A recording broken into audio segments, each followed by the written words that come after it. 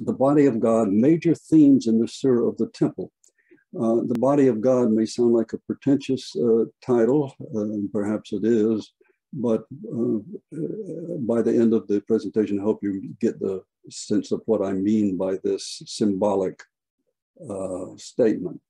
Obviously, one of them is the, the idea of the temple itself, which, as Baha'u'llah explains in this work, relates to his personification uh, of the attributes and powers of God.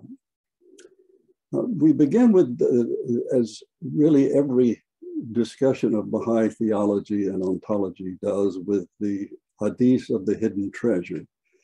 Uh, the entirety of creation and all relationships among every created thing derive from the single but encompassing desire of the creator to be known and loved, not for his own gratification, but to share his bounties with a being capable of freely choosing to participate in that endlessly joyful and beneficent and beneficial relationship. Until one understands this verity that constitutes the rationale underlying creation and progressive revelation, and then all other knowledge and understanding, uh, is of minimal value. Uh, I'm not going to get into that a lot in this presentation, but um, it's a very important thing to understand that until you understand the rationale for creation, God's rationale for creating, you can't really appreciate how everything else works to contribute to that enterprise.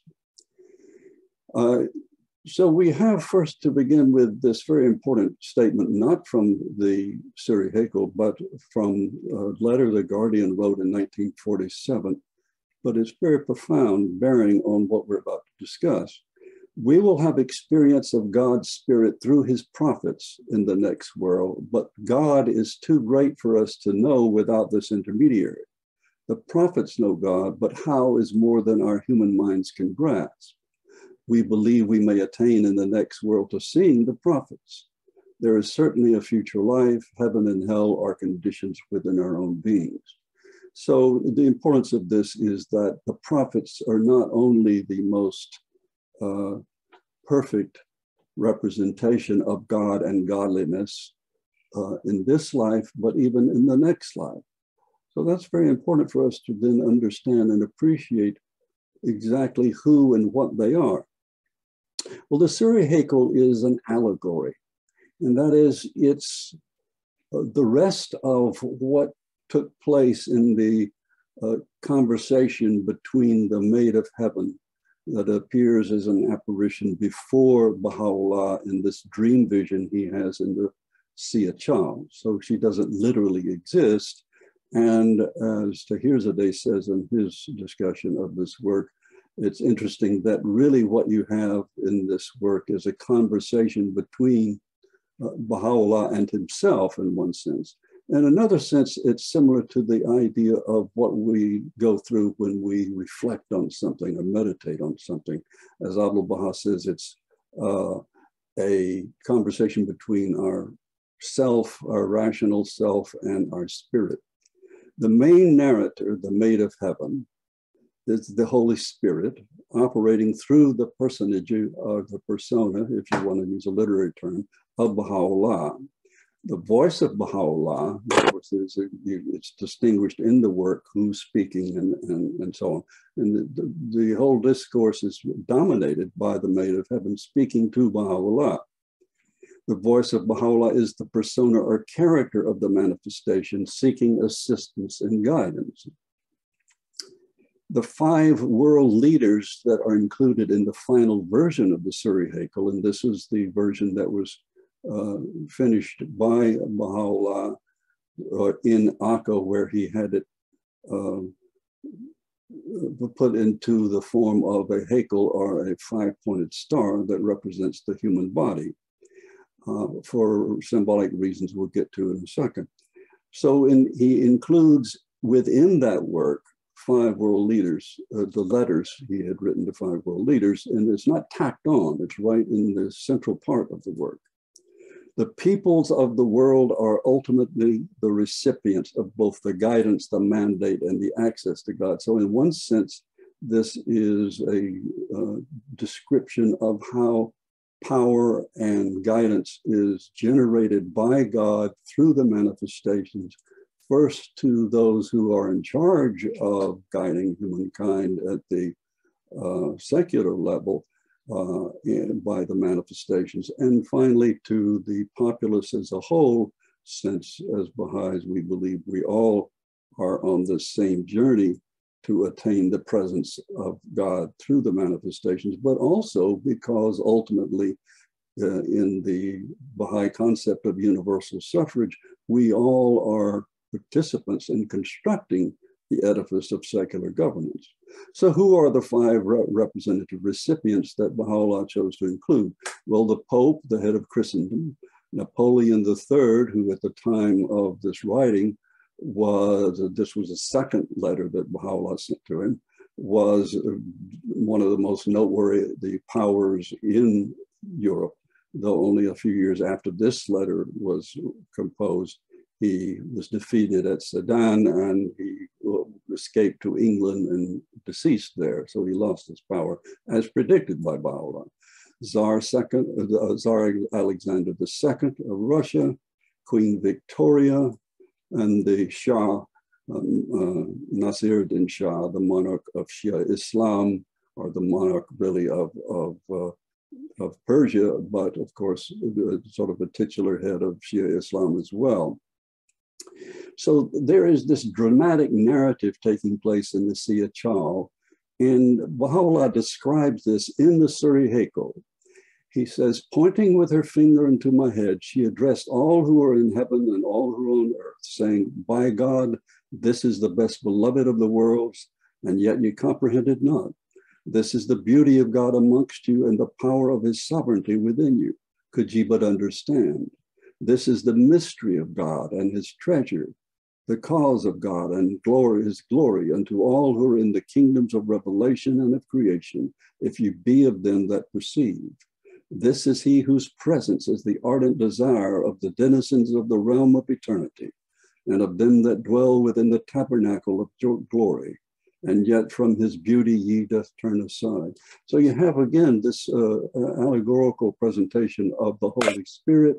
Of course, these are the words of Baha'u'llah, he has created them, but he has decided to devise this allegory so you can get the sense of how the Holy Spirit even though working through him uh, and the best access we have to it is not dependent on him. In other words, you have all of the other manifestations. It is an emanation from God. And so the Haykal is rep represents the pentacle, five-pointed star, which itself, of course, throughout history of literature and, and, uh, and religion has many symbolic meanings. Uh, but it is explicitly in the context of this work representing the human body, as I've taken this particular work from uh, history from 1533 to demonstrate that.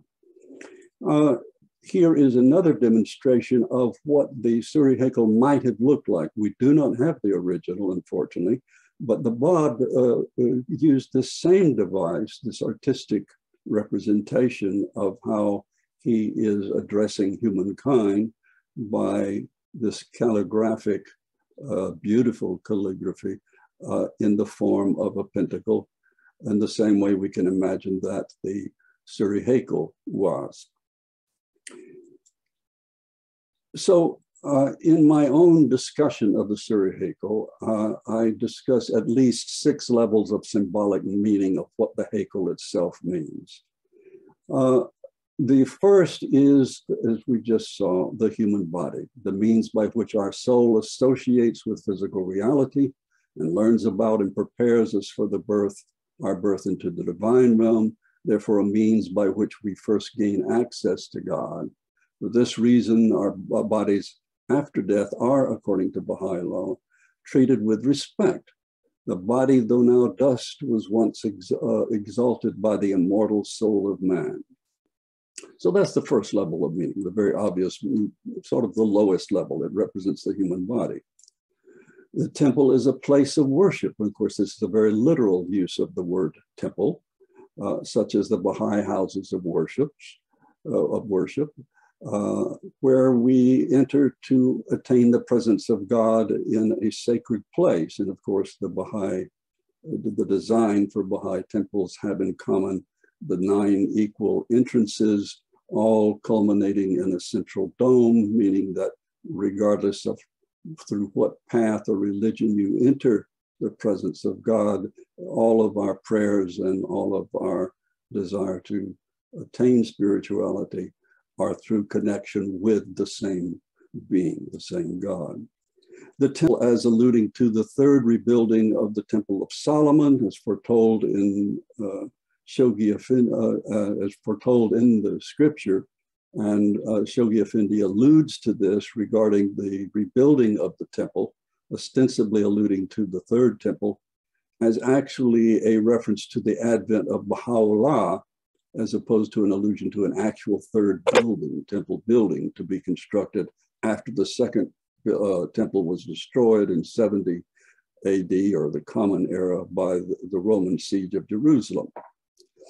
Um, then a fourth level of interpretation, the temple as the physical appearance of the manifestation, which is our means of gaining proximity to God.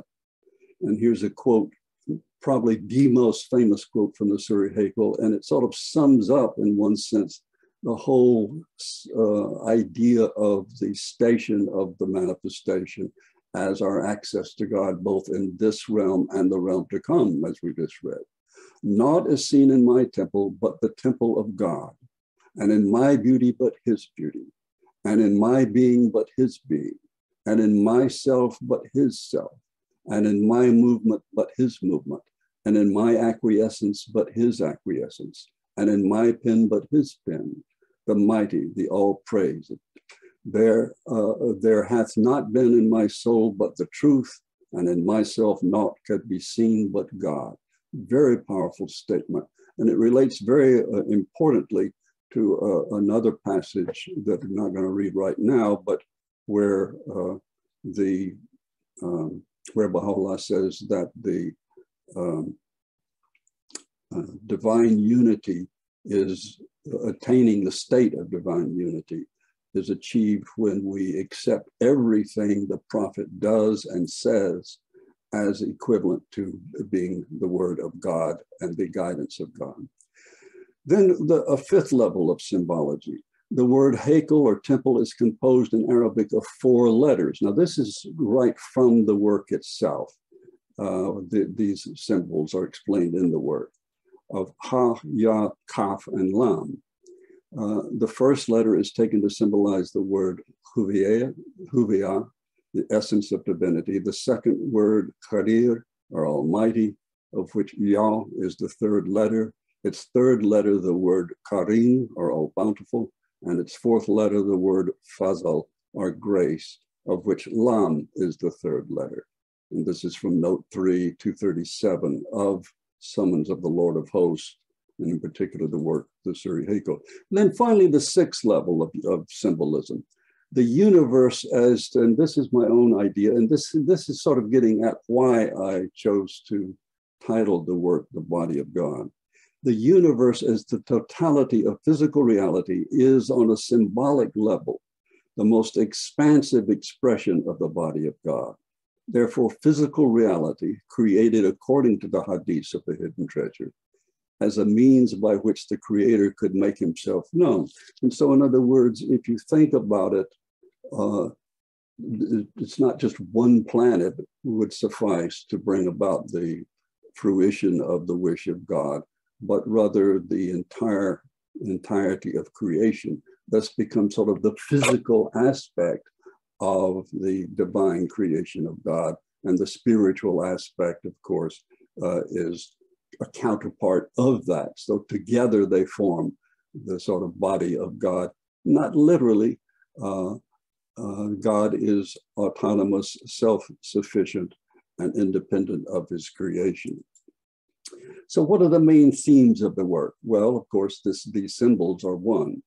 But uh, the prophet represents then the an incarnation, perfect incarnation of all the attributes of God, through his utterances, through his actions. And then the delegation of authority is a second theme that I think is extremely important. Uh, and that I've already mentioned. First, God delegates authority to the level of command, of the prophet uh, as the intermediary between God and creation.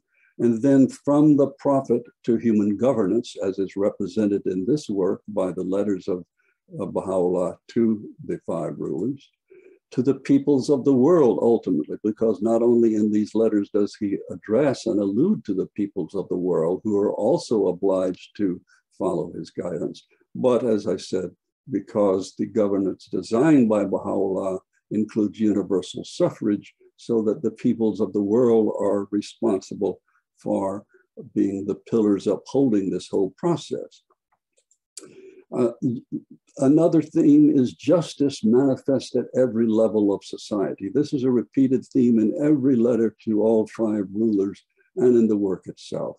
Justice. Justice, and of course, in particular, he's concerned with justice of the rulers to those who under their are under their charge and seek from them not but uh, but justice, sufficiency, and so on.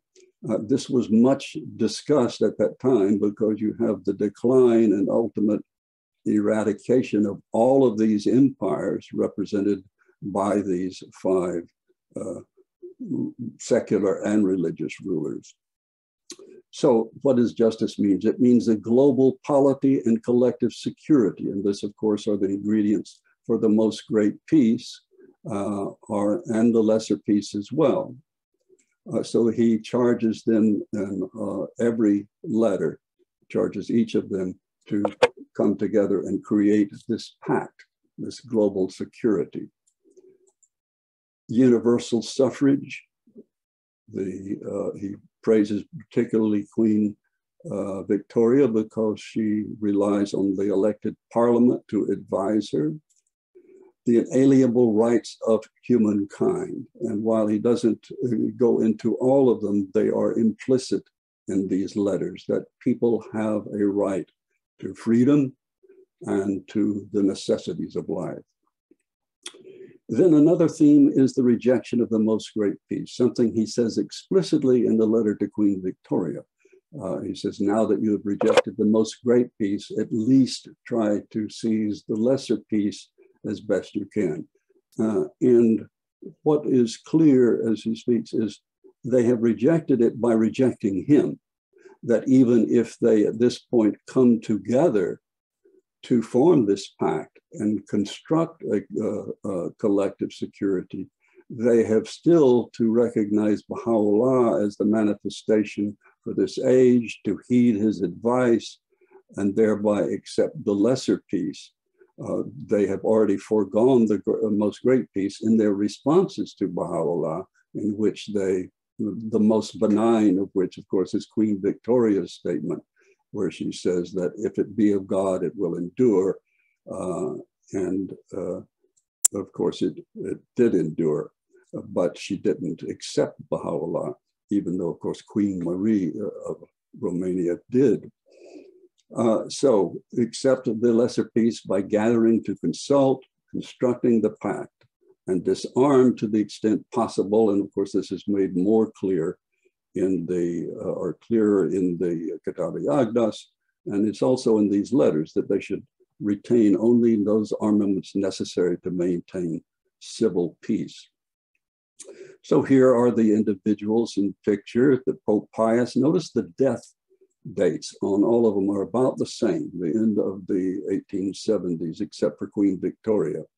Uh, so you've got Pope Pius, uh, the Pope, uh, in the letter of the Pope, he emphasizes that this is the second coming, that the pontiff himself should get rid of his pomp and circumstance and ceremony and all his riches, give them to the poor, follow the example of Christ. Let deeds be thy adorning, he says. Don't repeat what the Pharisees did to Christ by rejecting him and by uh, proceeding to retain their own beliefs to Christians uh, and the people of other religions. So he, in each of the letters, he talks not only to the individual recipient, but to the people over whom they hold sway. The effect of the Pope's rejection of Baha'u'llah, that's very powerful, needless to say. And again, this is in line with the same thing of the Pharisees rejecting Christ. And so that parallel should have uh, had some weight with the Pope, but of course it did not. In fact, shortly after receiving that letter, he instituted the uh, infallibility of the papacy. Uh, Napoleon III, again, death date 73, uh, shortly after he received this letter, which would have been in about 69 uh, or 70, or when the Súriy-i-Haykal was completed. To the Pope, uh, he has to the Pope and to Alexander both these very explicit proofs of who he is that should really have awakened them. Uh, and I'm sure in the afterlife it, it made them have many regrets. And he says, We heard what you said uh, about the voices you heard of the people dying in the sea of in the, in the Black Sea, and that's why you waged war in the Crimean War. He says that's that's not what, the reason you had it all. It was for your own prestige and gain. But the fact that he repeats to him words that he said in private would certainly uh, cause anyone uh, uh of normal sensibilities to take heed. O king, we heard the words thou didst utter in answer to the Tsar of Russia concerning the decision made regarding the war. Thy Lord verily knoweth and is informed of all. Again, he emphasizes, as he does, does with all of these, uh, the Christian uh, um, rulers he's writing, that he is the return of Christ. And then he urges Napoleon to heed the obligations he has as a ruler, namely of being just to his subjects, and the guidance for this day to the peoples of the world, of France and the world as a whole. Uh, and final advice to the emperor, which is a personal thing, and that is sort of similar to what he says to Mirza Yahya and the Aqdas, there's still hope for you individually. All you have to do is turn to God, plead for his forgiveness, and accede to my guidance. Perhaps he did, who knows? If not, maybe he has by, by this point in his progress in the, in the afterlife. Tsar Alexander II, again, death date, 1881. Uh, the themes in his letter, the propitious position of the czar and what he has to do insofar as getting rid of what was essentially uh, the uh, maintaining of a feudal society, uh, which of course was what brought about ultimately the Bolshevik Revolution in 1917. Uh, appeals to him as a Christian ruler, again, the return of Christ. And then the inescapable proof. We heard what you prayed for, and here is the prayer. We heard, we verily have heard the thing for which thou didst supplicate thy Lord, while secretly communing with him. Wherefore the breeze of my loving kindness wafted forth, and the sea of my mercy surged, and we answered thee in truth. Thy Lord verily is the all knowing, the all wise. So again, this should have just shocked the, the czar to no end that here is a strange prisoner writing to him from a foreign land saying, I know what you prayed about, and we answered the prayer. The most great peace, again, he uh, exhorts him to uh, achieve that. Uh, and of course, by the time he received this, it was a fait accompli. The most great piece had been rejected the station of the monarch who recognizes wow this is something very powerful and and he says this in other places as well and that is you think you have power now if you accept me this revelation your renown will be unparalleled in the annals of human history on planet earth and of course that's true and of course queen marie of romania will outshine in retrospect of history, all of these rulers together. Queen Victoria, of course, was the most benign responder, and she had a government which was, as Baha'u'llah points out in his letter, the fact that he uh, applauds her use of the parliament, uh, applauds her abolition of slavery. Uh, but then, uh, after a few kind words, he suddenly shifts the tone of the letter and starts talking about governance in general, uh, Baha'u'llah's specific admonition to the rulers of, as a whole, uh, and uh, then finally talks about now that you, and again, talking to the rulers as a whole, not to Queen Victoria herself. And that's what I'm saying. Only the first part is to her, and then he sort of shifts and uses it as a vehicle to talk to everyone. So he says, now that this is where he explicitly states, now you have rejected the most great peace, at least do what you can to accept the lesser peace.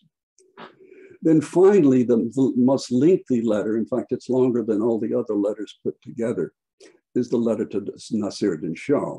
Again, death date 96. So he outlives some of them, but uh, dies uh, on his uh, the celebration of his most lengthy of uh, reigns, uh, only to be assassinated before that could occur. So to the Shah, and of course you're probably familiar with this uh, letter, insofar as this is where he talks about, uh, rehearses what happened in the Sea of. This is where he says, I was a, a, a, like a man, like others, asleep upon my couch. And we're going to look at that in a second. So the themes in this letter are the delegation of authority, the attendant theme of justice, judge us fairly. He talks a great deal about, of course, the fact that the Shah was the main instigator of the uh, uh, programs, if you will, uh, uh the uh, uh, killing of the Babis and, and later of the Baha'is. And yet, strangely, the tone of this letter is kinder and more gentle than the letters to the other rulers. That's something to think about. And that is, he is not belligerent, he is not seeking vengeance. He does not, in effect, throw in his face the, the, of the Shah all of the evil he has done, even though he says, you know, you rule over people of all religions, all of them should have uh, have justice and the ability to worship, and yet look how you treat us. So he does bring it up. Uh, but, but not in the way you might think he would. So he again brings up this is a new revelation from God. And this is where he brings up the, uh, the fact that uh, how he, uh, the first intimations of his revelation in the Síyáh-Chál, of course, the Shah, if you remember, put him there at the insistence of, of his mother. The Shah's mother was a big prime mover behind the Shah's attitude towards the Baha'is. And of course, you, you remember the story that uh, the Shah could hear the voices of the uh, prayers of the Babis singing, uh, singing or chanting their prayers together in the of So he parallels the treatment of himself, Baha'u'llah's treatment, to that of the fourth Imam. Uh, so uh, to um, Hussein, whose, whose head was severed and so forth, and a very dramatic, very important figure in Shia Islam in history, and of course, the reason for uh, Baha'u'llah's name being Hussein Ali, Mirza Hussein Ali. The urgency of the moment, the fact that now is the time to act if you're going to act. And it's going to go by very quickly. So, in other words, that here's a window opportunity that you have that will never occur again. And here's a passage from that letter, most famous probably among all of the passages insofar as the intimations of his uh, revelation in the Síyáh-Chál. O king, I was but a man like others, asleep upon my couch, when lo, the breezes of the all-glorious were wafted over me and taught me the knowledge of all that hath been. This thing is not from me, but for one who is almighty and all-knowing. And he bade me lift up my voice between earth and heaven. And for this there befell me what hath caused the tears of every man of understanding to flow. And so, was he a man like others asleep upon his couch? And this is something that's been sort of a hobby horse of mine insofar as uh, something I like to point out wherever possible because it's so widely misunderstood. He doesn't become a manifestation. None of them do. They pre-exist in the world of the spirit, unlike us. And the point of, of uh, epiphany, our first intimations, are just that, as, as Shoghi Effendi points out. Uh, and Abdul Baha points it out even more emphatically. And I'm going to read to you. Uh, uh, this is again the same the same passage. I was a man like others, asleep upon my couch. Well, of course, there were no couches, so he's not talking literally. Uh, he is talking about a dream vision. I was like a man asleep upon a couch. Uh, so Abdul Baha explains this authoritatively in the following way. So listen carefully because it's a very uh, important uh, axiom about the ontology of the manifestations. Abdul, Baha then explains the metaphorical meaning of the state of being asleep in this passage in three different ways. For example, sleeping is the state of repose and wakefulness is the state of motion. Sleeping is the state of silence, and wakefulness is the state of utterance. Sleeping is the state of concealment, and wakefulness is the state of manifestation. Briefly, this is a continuation of the same passage. The manifestations of God have ever been and will ever be luminous realities, and no change or alteration takes place in their essence. At most, before their revelation, they are still and silent, like one who is asleep, and after their revelation, they are eloquent and effulgent like one who is awake. Once and for all, then, the very themes and cautions so eloquently and powerfully set forth in the Surah have now become fully apparent that the body of mankind on planet Earth must, like the temple of the manifestation himself, be constructed from the ground up. And this is uh, my own statement of the conclusion of the whole thing, and that is within the work, the voice of the maiden constructs the temple bit by bit feet, eyes, ears, tongues, breast, and the inmost heart. And so, what I'm saying here in the conclusion, both here and in my own book, is that we too are exhorted in this work to have this same capacity with feet of iron to stand firm and demonstrate such constancy as to cause the feet of every severed soul to be strengthened in the path of God. And you see the paragraph numbers if you want to turn to, these quotes. Eyes that will contemplate the manifold signs of their Creator, ears that will hearken to the melodies of your Lord tongues that will praise and extol me amongst the concourse of eternity. Breast cleansed so that the light of my beauty may appear therein, and inmost hearts which become the dawning place of our knowledge and the dayspring of our wisdom unto all who are on heaven and earth.